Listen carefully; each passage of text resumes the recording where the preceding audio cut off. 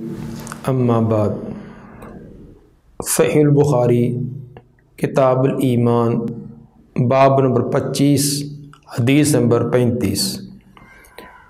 बाबन क़ियाम लतलक़द्र मिनल ईमान। गुज्त चंद अबवाब में इमाम बुखारी रहमुल्ला ने निफाक की अलामत और उसकी कबाहत बयान की थी। जो ईमान के अंदर कमी का सबब बनती हैं। निफाक की अलामत ईमान के अंदर कमी का सबब और ईमान के अंदर नकस का सबब पैदा करती हैं।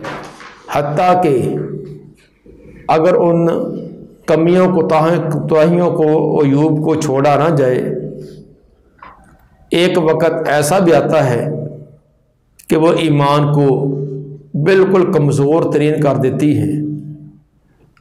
अब इमाम बुखारी रहमुल्ला ईमान का जो हुसन, खूबसूरती पैदा करने वाली चीज़ें, और जिनकी वजह से ईमान के अंदर खूबसूरती पैदा होती है, उसकी अलामत वो बयान करना चाहते हैं। ताकि ये साबित हो जाए कि ईमान के अंदर कमी भी होती है और ज़्यादती भी। अगर निफाक वाले अमाल करने से ईमान के अंदर कमी होती है तो इस्लामी तालीमत की रोशनी में खूबी और हुसन वाले काम करने की वजह से ईमान के अंदर ज़्यादती और बढ़ोती भी होती है। फरमाया कि बाबन क्याम क्याम लतलकद्र मिनल ईमान। बाब है कि ललतुल्कद्र रमज़ान की ललतुल्कद्र के अंदर क्याम करना ये भी ईमान में से है। क्याम लैल ये एक अमल है, जो ईमान में से साबित किया है। इससे ये भी इमाम साहब साबित कर रहे हैं कि आमाल ये ईमान के अंदर शामिल हैं, जिस तरह के पहले भी कई एक अबवाब के अंदर ये चीज़ साबित की। और ये बात भी वाज है कि जब क़्याम रमज़ान ये अमल है और ईमान में शामिल है और ये तमाम का क्याम एक जैसा नहीं होता बाज़ का क्याम मामूली किस्म का बाज़ का मुतवसत किस्म का और बहुत बाज़ का बहुत अला किस्म का होता है। तो जब क्याम एक जैसा नहीं तो क़याम रमज़ान ये ईमान में से है तो ईमान भी एक जैसा नहीं होगा। ईमान के अंदर भी कमी बेशी होगी। काला हदसना अबुलयमान काला अखबना शुआबन काला हदसना अबुलजनाद अनिल आरज अन्नबी हुरैरता रज़ी अल्लाह काल काल रसूलुल्लाह सल्लल्लाहु अलैहि वसल्लम मन यकुम लैलतुल कद्र ईमान व वो फिर लहू मा तकद्दम मिन ज़ंबी सैयदना अबू हरैरा रज़ी अल्लाह तआला फरमाते हैं कि रसूल मकबूल अलैहि वसल्लम ने फरमाया मन यकुम लैलतुल कद्र जो इंसान भी क्याम करे लैलतुल कद्र में, लैलतुल कद्र का क्याम करे ईमान इस हाल में कि दिल में ईमान हो। सही ईमान के साथ एहतसाबन और सवाब की नीयत से। ये दो शर्तें हों कि ईमान भी हो और सवाब की नीयत भी हो। अगर ईमान ठीक नहीं या ईमान नाकस है तो फिर अमल का नतीजा वो ना निकलेगा जो खालस और प्योर वाले ईमान वाले का होता है। दूसरा, अगर ईमान तो है, ईमान तो खालिस है लेकिन जो आगे अमल कर रहा है, उसके अंदर एहतसाब नहीं, सवाब की नीयत नहीं, दिखलावा, रियाकारी शोहरत या जैसे आजकल ताक रातों कदर खाने पीने के इंतज़ाम वो लालच और तमा है। तो अगर ऐसे मकासद हैं तो फिर आगे आने वाली जो खूबी और शर्फ है, वो हासिल ना होगा। जो क्याम करे ललतुल कद्र का ईमान और एहतसाब के साथ वो फिर मातकदम मिन तो माफ़ कर दिए जाते हैं उसके तमाम जो पहले गुनाह गुजर चुके साहब का उसके तमाम गुनाह मुआफ़ कर दिए जाते हैं। किस कदर शर्फ, मरतबा और मुकाम मुकाम है कि जो ठीक तरीके से शरीयत की तालीमत के मुताबिक अमल करे, अगर से अमल बहुत ज़्यादा भारी और मुश्किल ना भी हो लेकिन छोटे आमाल करने के अंदर भी अल्लाह वो दर्जा देता है कि ज़िंदगी भर के गुनाह सिर्फ़ ललत और कदर का क्याम करने से मुआफ़ हो जाते हैं। नेक और साल अमाल ये कफ़ारा बन जाते हैं गुनाहों का।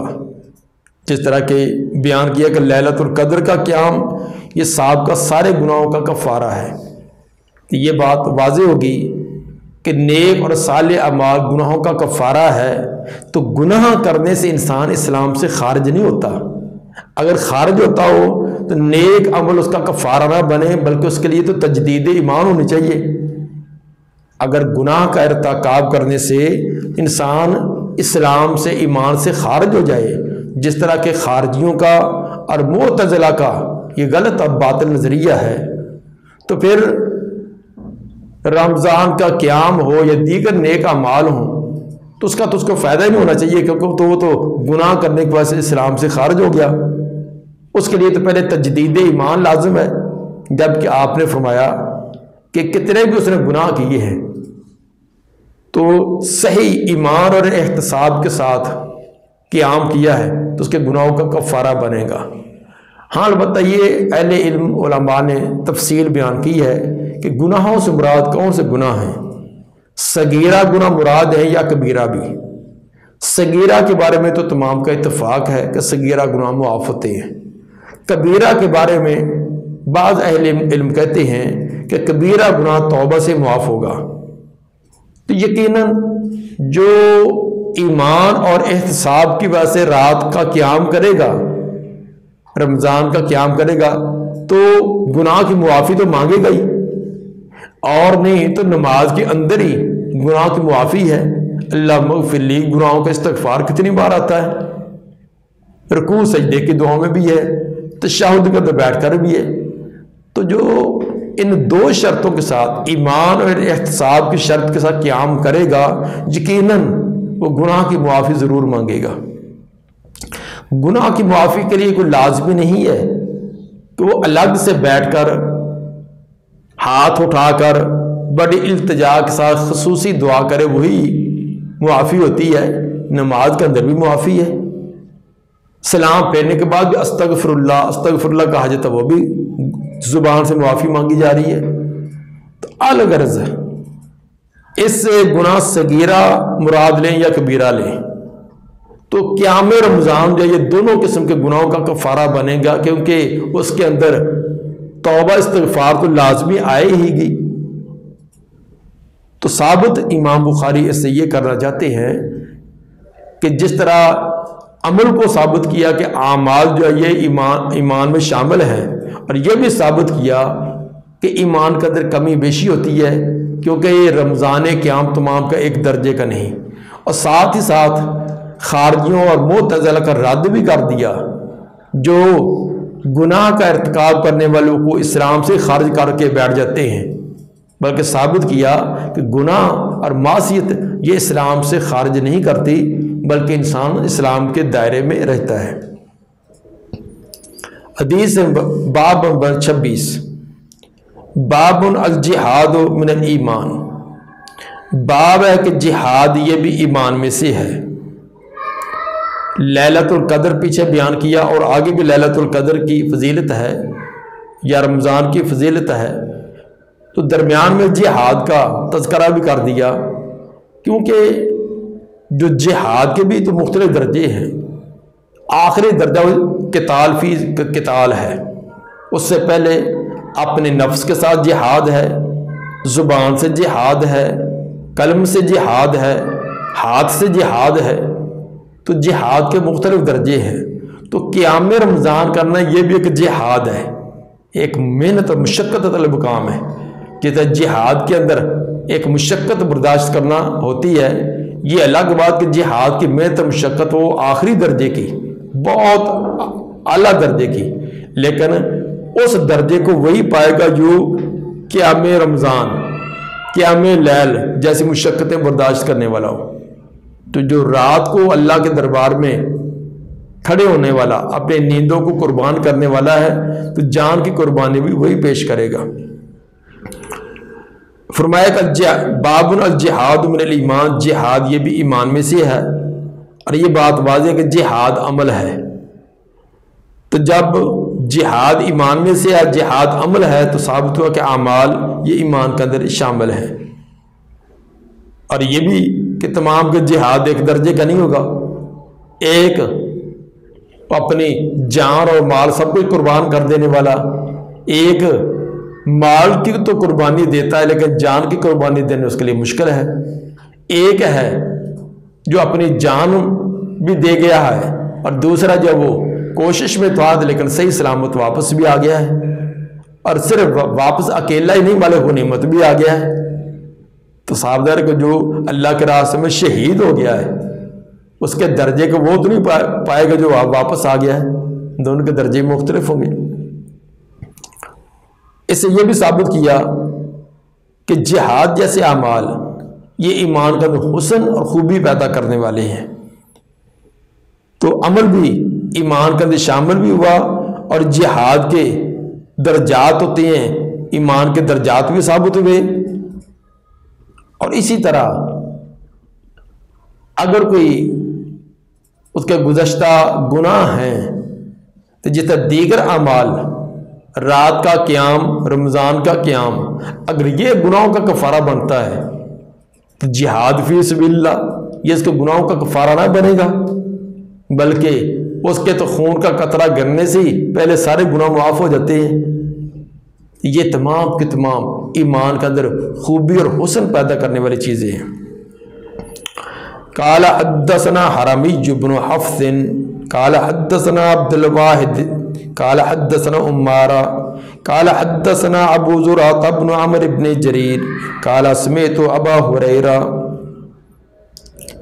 Abdul Wahid Murad, Abdul Wahid bin Ziyad Basri हैं। और उमारा से मुराद उमारा बिन का का जब्बी है। कालस में तो अबा हुरैरा, मैंने सैदना अबू हुरैरा रज़ी अल्लाह तु को ये फरमाते हुए सुना, अन नबी सल्लल्लाहु अलैहि वसल्लम, वो रसूल मकबूल सल्लल्लाहु अलैहि वसल्लम से ये बात बयान कर रहे थे। काला इन तदबल्लिमन खरज फ़ी सबील ही लायुखरजो ईमान बी व तस्दीक तस्दीक बरसोली काला आपने फरमाया कि इन तदाबल्ला अल्लाह ताला ज़िम्मेदारी देता है इन तदब ज़िम्मेदारी देना अल्लाह ज़िम्मेदारी देता है लिमन खरज फ़ी सबील ही उसको जो निकलता है अल्लाह के रास्ते में जो अल्लाह के रास्ते में निकलता है अल्लाह ताला ज़िम्मेदारी देता है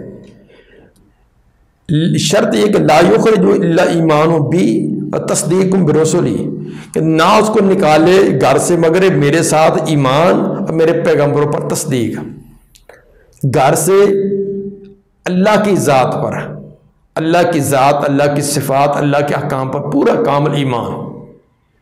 अपनी शोहरत के लिए, रियाकारी के लिए, अपनी शुजात के लिए माल गनीमत के लिए, इन मकासद के लिए घर से ना निकले, बल्कि अल्लाह की रज़ा अल्लाह के अहकाम पर अमल करना, ये चीज़ उसको निकाल कर ले जाए। और तस्दीक बरोसली, और दूसरी, अल्लाह की वहदानियत के साथ साथ रसूलों की तस्दीक, रसूलों की तालीमत को तस्लीम करना। इन दो चीज़ों के साथ जो निकले, अन और बिमान मिन अजरन और गनीमा। तो अल्लाह फरमाता है कि मैं उसकी ज़िम्मेदारी देता हूँ। इस बात की कि वो मैं लुटाऊँगा उसको जो कुछ पाएगा, जो हासिल करेगा, अजर भी और गनीमत या माल गनीमत। अजर या माल गनीमत। और उद खिला उद खिला जन्ना, या फिर मैं उसको जन्नत में दाखिल करूँगा। तो जिहाद के लिए निकला है, साफदार है, दो ही नतीजे होंगे। या तो शहीद हो जाएगा शहीद हो गया तो उसके लिए तो गारंटी मिल गई कि अल्लाह फरमाते कि मैं उसको जन्नत में उद जन्ना, उसको जन्नत में दाखिल करूँगा, ये अल्लाह जमानत देता है। अगर शहीद नहीं हुआ, ज़िंदा वापस गाजी बनकर आया है तो फिर उसके आगे दो सूरतें होंगी। या तो खुद वापस आया है और कुछ मालों को नियमत भी मिला है, या अकेला वापस आया, मालों को नियमत नहीं मिला। अगर मालों को नियमत भी मिल गया है ये तो अल्लाह ने आखिरत के दर्जात के साथ साथ दुनिया भी उसको दे दी है, ताकि दुनिया के दिन भी अच्छी हालत में बसर कर सके। अगर बिल फ़र्ज़ मालो को नियमत नहीं भी मिला तो खुद खैर सलामती से वापस आ गया है तो अजर स्वाब से महरूम नहीं। अल्लाह के यहाँ उसका भी अजर कसीर, अजर कबीर जो है, वो दर्ज हो चुका है। अन उर्दियाबिमान नालमिन अजरन कि मैं लुटाऊँगा उसको। जो कुछ वह हासिल करेगा, अजर औ गनीमत या माल गनीमत औ उदखलाजन्ना या मैं दाखिल कर दूँगा उसको जन्नत में। उसके ये बयान फरमाने के बाद नबी सल्लल्लाहु अलैहि वसल्लम ने जिहाद की फजीलत, इसके अंदर शिरकत, इसके के लिए मेहनत और कोशिश करना, इसकी फजीलत और वाज करते फरमाया वलाउलान अशुक्का उम्मती अगर ना होती ये बात कि मैं मुशक्क़त डाल दूँगा अपनी उम्मत पर। मेरी उम्मत पर मुशक्क़त होगी, तंगी हो जाएगी। माँ का तो खलफा सरीजत तो ना मैं पीछे बैठता किसी भी सरिया से। किसी एक लश्कर से मैं पीछे ना रहता, बल्कि जितने भी जिहाद के लिए लश्कर जाते, छोटे होते या बड़े, हर एक अंदर मैं खुद बेनफस नफीस उसमें शिरकत करता। लेकिन अगर मैंने ये काम किया तो फिर मेरा हर उम्मती मेरे से तरीके या सुन्नत पर अमल करते हुए वो इसके अंदर ज़रूर अपने अपनी शिरकत शामिल करेगा और बाकी तमाम काम जो है वो उनकी तरफ़ तवज्जो इतनी ना रहेगी। तो चूँकि ये अगर तमाम के तमाम जिहाद के लिए निकल खड़े हों और अपने तमाम कुतें उसी तरफ़ लगाएँ तो दुनिया के और भी बहुत सारे काम हैं। दावत तबलीग है और दीन के पढ़ने पढ़ाने के काम हैं, बाकी दुनियावी मामलात भी हैं, ये सिलसिले भी तो चलने हैं। तो उसके लिए कुछ लोग तो जिहाद के लिए होंगे, लेकिन तमाम के तमाम दुनियावी मामलात वो भी तो तय करने हैं, उनको भी हल करना है। इसलिए आपने फरमाया कि वाला शुक्ल उम्मती माँ का तो खलफा सरीजतिन। अगर ना होती ये बात कि मैं मुशक्क़त डाल दूँगा अपनी उम्मत पर तो मैं ना बैठ रहता किसी एक सरिया से भी। वाला वदित तो अन्नी उक्तरफ़ी सबील मेरी तो ये दिली तमन्ना है, मैं ये पसंद करता हूँ कि मैं शहीद कर दिया जो अल्लाह के रास्ता में। सुम्मा उहया, फिर मुझे ज़िंदा कर दिया जाए।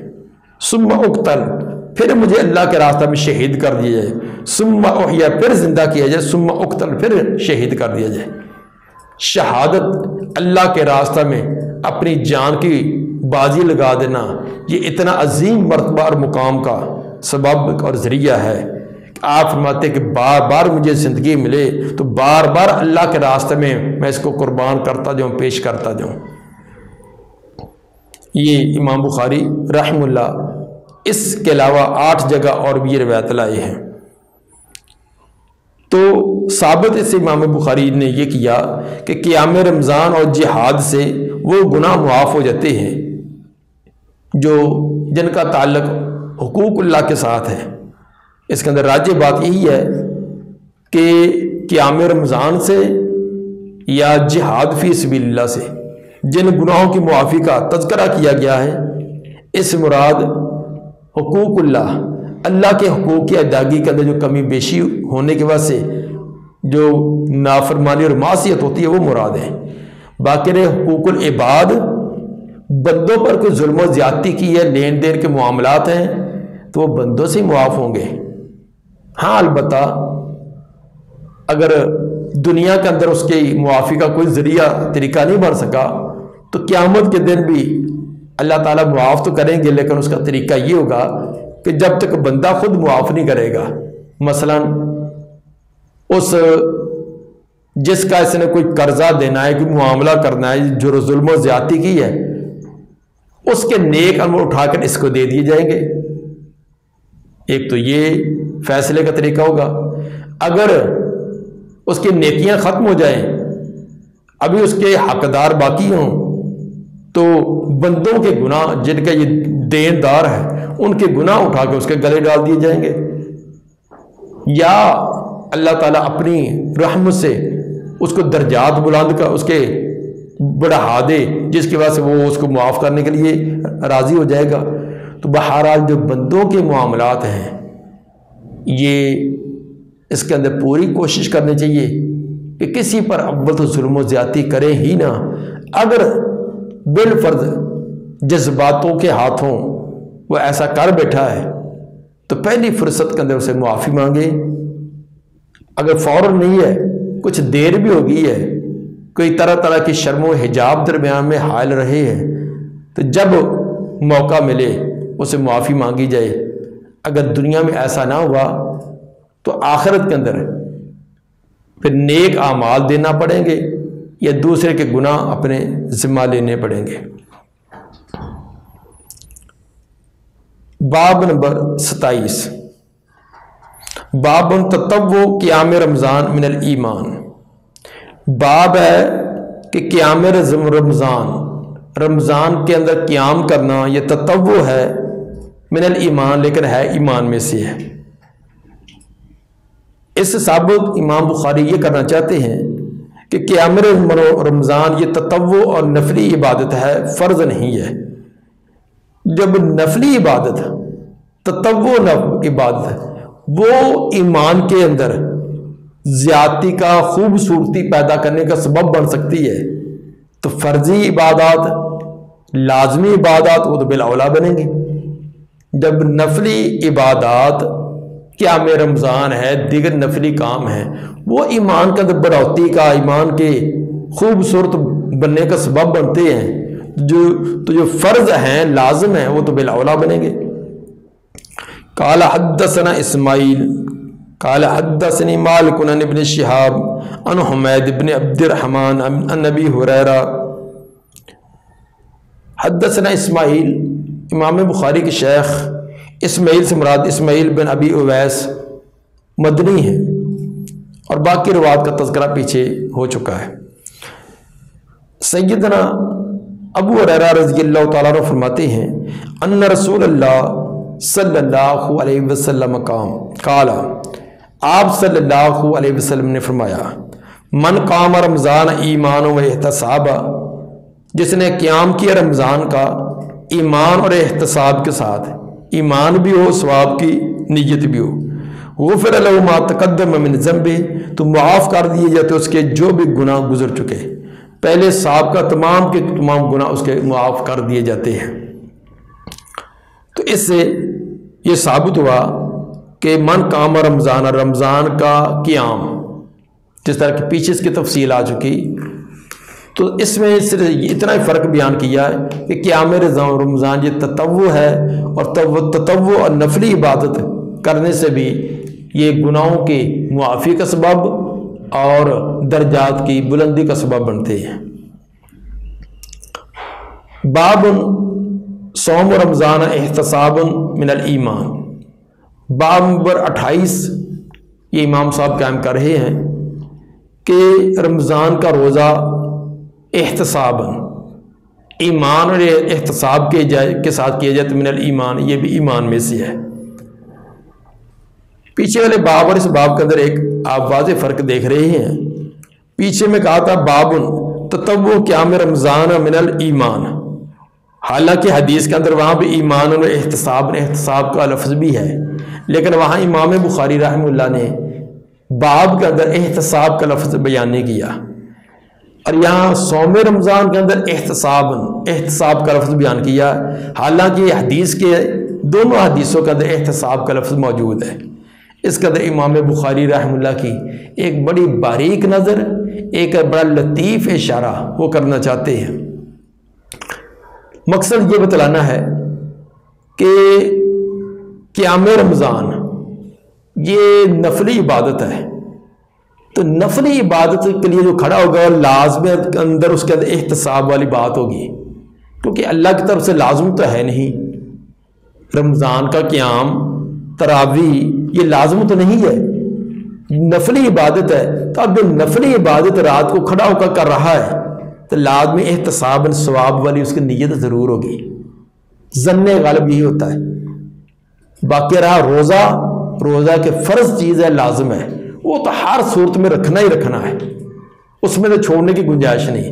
तो उसके अंदर हो सकता है कि इंसान मजबूरी सी समझ कर कि यार अल्लाह की तरफ़ से है दिल तो चाहता नहीं है, गर्मी का बड़ा मौसम है चल रखना ही पड़ेगा। तो उसके अंदर शायद सवाब के अंदर कमी सवाब वाली नीयत ना हो। तो नफली इबादत के अंदर तो जन्ने गालब उसके अंदर सवाब की उम्मीद होती है, इसलिए वहाँ पीछे वाले बाप के अंदर एहतसाब उनका लफ्ज़ नहीं इस्तेमाल किया। और जो फ़र्जी इबादत होती है, उसके अंदर बासात सवाब वाली बात कमज़ोर हो जाती है, उसके अंदर एक जबर और मजबूरी भी ज़ाहिर होती है। इसलिए फरमाया कि जो उसके अंदर एहतसाब, सवाब की नीयत से करेगा तो अजर सवाब उसको है। हदीस नंबर अठतीस जो बयान कर रहे हैं इमाम बुखारी, काल हदसन बन सलाम, काल अखबर मोहम्मद बन फ़ैल काल हदसन यबन सईद, अन नबी सालमत, अन नबी हुरैरा, काल काल रसूल रमज़ान ईमान व आपने फरमाया कि जो रोज़ा रखता है रमज़ान का, ईमान और एहतसाब के साथ वो फिर तकदम मिन ज़म्बे, उसके पहले तमाम गुनाह मुआफ़ कर दिए जाते हैं। सुबह रमज़ान का रोज़ा रोज़ा बाद में है और क्याम पहले होता है। हालाँकि क्याम जो ये एक नफरी इबादत है, रोज़ा ये फ़र्जी चीज़ है। तो आम तौर पर तो ये तरीका ये है कि पहले फ़राइज़ का तस्करा होता है, बाद में नवाफल का। रोज़ा फ़र्ज़ है और रमज़ान का क्याम, जिसको हमारे उर्फ़ में तरावी कहती हैं, ये नफली इबादत है। तो चाहिए तो ये था कि पहले रमज़ान का तस्करा होता, रमज़ान के रोज़े का तस्करा होता, बाद के अंदर तरावी का, क्याम रमज़ान का तस्करा होता। लेकिन इमाम बुखारी रहमुल्ला ने पहले क्याम रमज़ान और बाद बाद के अंदर सोम रमज़ान का तस्करा किया। इसके अंदर इमाम साहब कई एक बातों, लतीफ़ अंदाज के अंदर इशारा फरमाना चाहते हैं। एक तो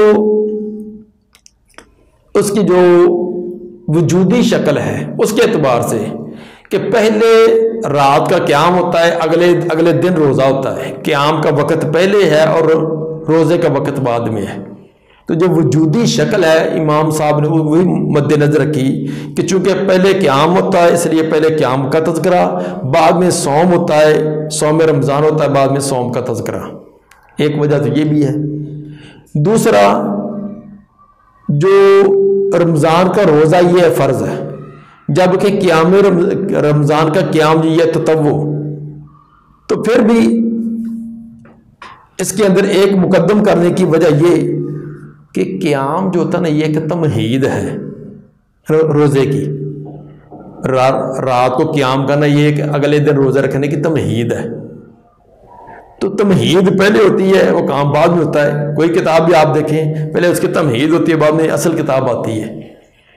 तो क्याम रमज़ान गोया के ये रमज़ान की की तमहीद होती है। रमज़ान का रोज़ा जो है रोज़ा जो है क्याम उसकी तमहीद है तो पहले तमहीद का ज़िक्र किया और बाद के अंदर रोज़े का किया। तीसरी बात ने यह भी वजह बयान की है कि फ़राइज़ को अगर नवाफल के साथ किया जाए, पहले नवाफल वगैरह अदा करके फ़राइज़ को अदा किया जाए तो उसका शर्फ शर्फ कबूलियत बढ़ जाता है। हम देखते हैं कि फ़र्ज़ नमाज़ों से पहले कुछ सुन्नत और नवाफल रखे गए हैं। एक तो ताकि ये नफली इबादत जो हमारे फ़रज़ की कबूलियत का सबब बने रास्ता हमवार हो जाए। तो इसलिए रमज़ान का रोज़ा एक बड़ी शरफ वाला है। उससे पहले क्याम रमज़ान किया जाता है, ताकि अगले दिन पूरे भूख प्यास करके जो रोज़ा रखना है, उसके शरफ मरतबा मुकाम को ये बढ़ाए और उसकी कबूलियत अल्लाह के दरबार में बहुत करीब हो जाए। अल्लाह ताला से दुआ है कि नबी सल्लल्लाहु अलैहि वसल्लम के फ़रामीन के मुताबिक हमें अकीदा नज़रिया रखने, उसके मुताबिक अमल करने की तोफ़ी कता फरमाए।